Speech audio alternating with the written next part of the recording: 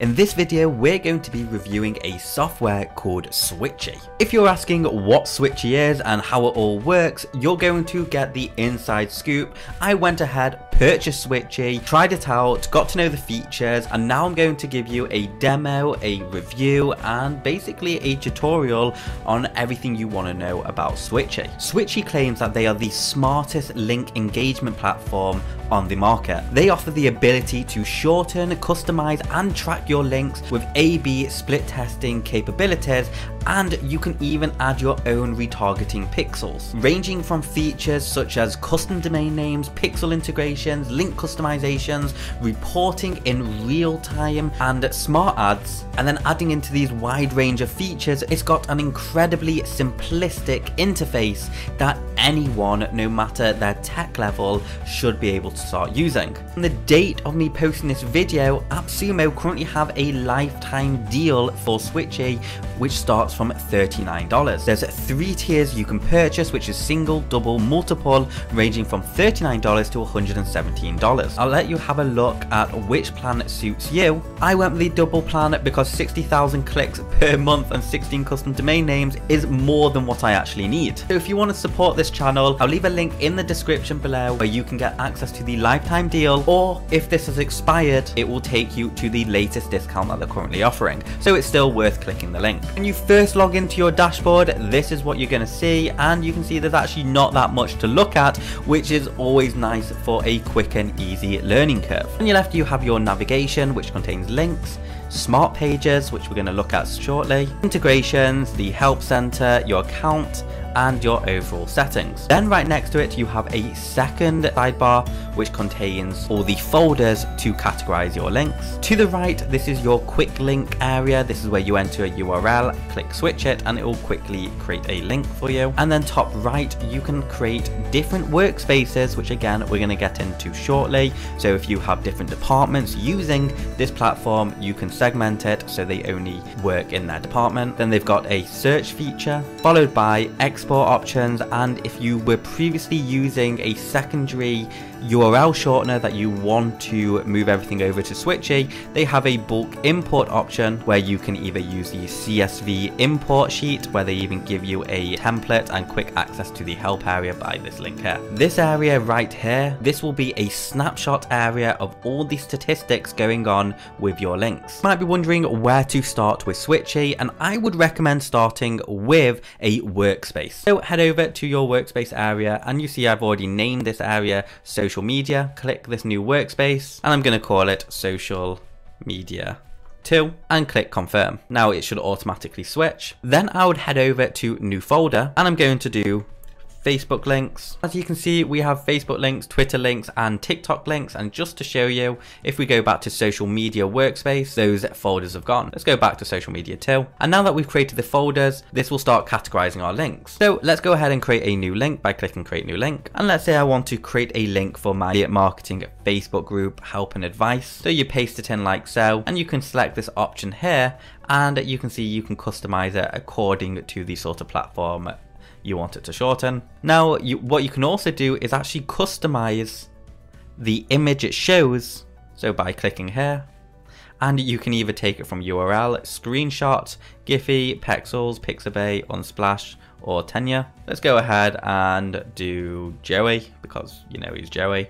And you can even customize the title. Once you customize the meta information, then you can start adding pixels to it. They have an a help feature right next to it. So if you click that, you will see it's got it's got documentation listing how you do each one. So if we want to do Facebook, click on Facebook, and as you can see, it's step by step instructions on how to get it. Now, sadly, I've actually been banned from Facebook advertising.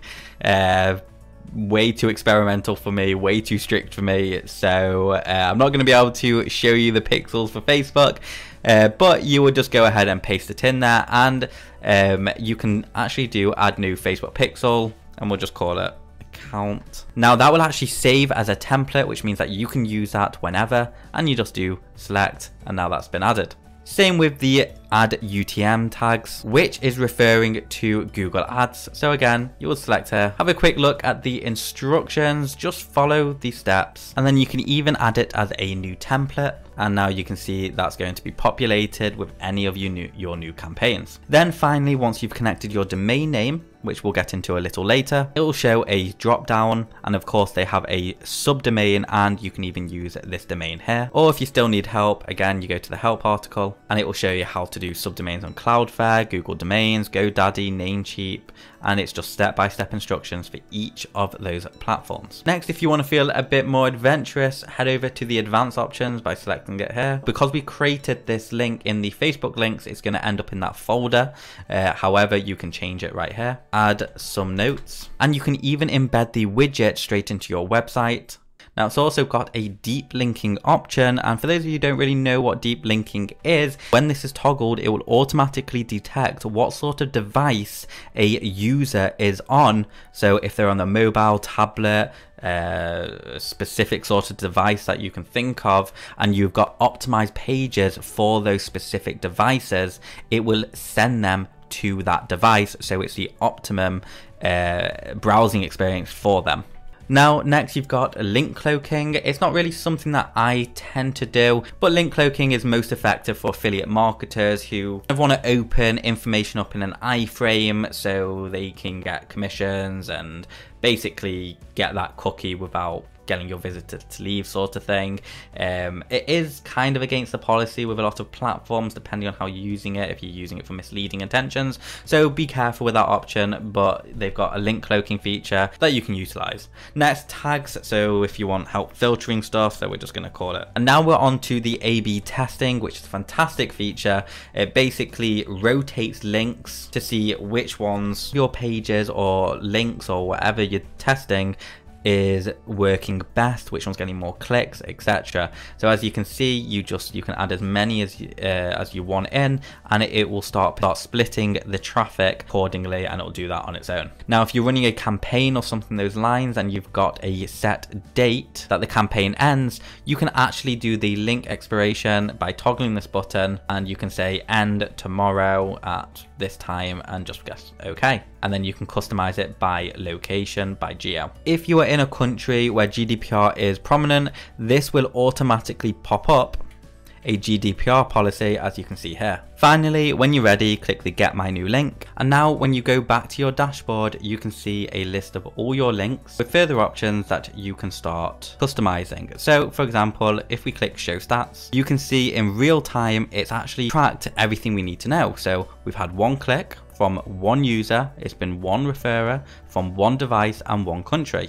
And if we scroll down, it then shows us in chartable information. And you can see that I'm currently using Chrome. My operating system is Windows and it's from a PC and then it's got all of those tags as we saw before and it's just broken down in a really nice way. You can also share this on Facebook, Twitter, WhatsApp directly, view what the link looks like, download a QR code so other people can just scan it and go straight to it, which is a really nice touch. And you can also duplicate it if you desire. Now, if you wanted to quickly create a link, clicking create new link here, you would simply just paste the link in here and then do switch it and then it will take you to that area we're just in and you'll start customizing it. Let's head over to Smart Page. This is a fairly new feature by them, which is really cool, especially with the rise of TikTok and uh, Instagram marketing and the general format influencers are using.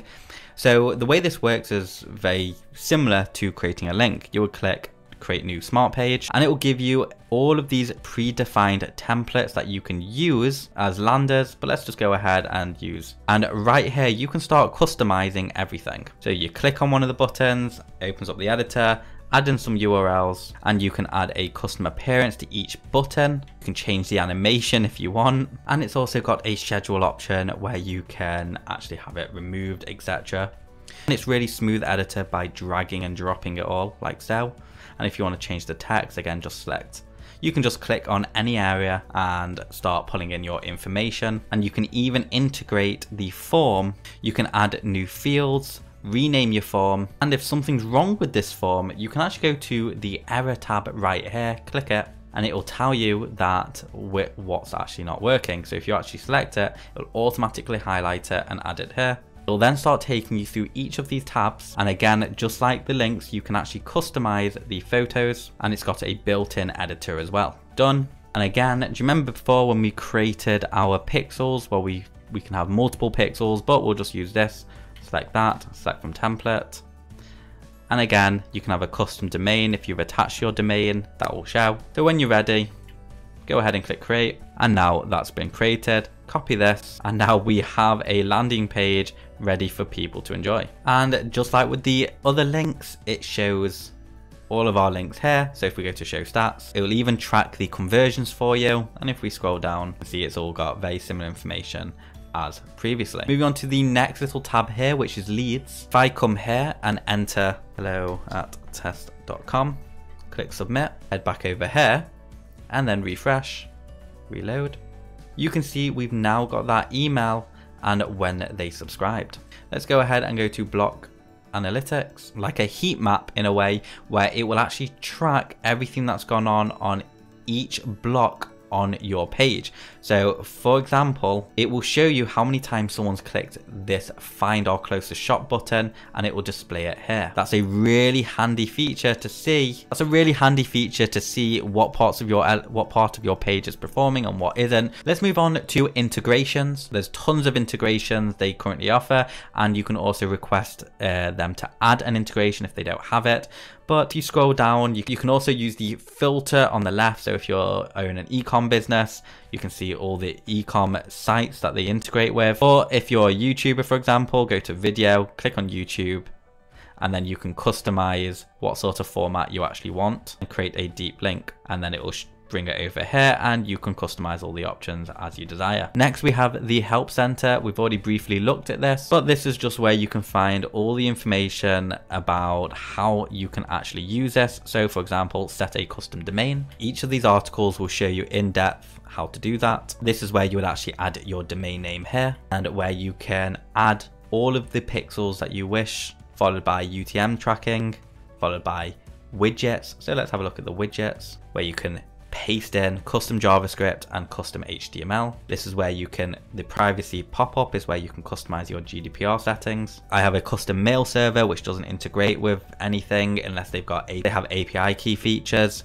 which Switchy does, which means that I can literally generate an API and connect it with my system so I can start syncing my leads uh, into my mail server my overall opinion of Switchy is that it's got a ton of features that are hugely beneficial and everything can be done in just a few clicks. In fact, the most technical part of Switchy actually happens off Switchy and that's just getting all of your pixel information and your Google Ads tracking information, etc. So Switchy really isn't difficult to use and it just works and it works really well, which you can't really ask for more from a tool. Thank you so much for watching the Switch review. If you've got any questions, drop them below and I'll see you in the next video.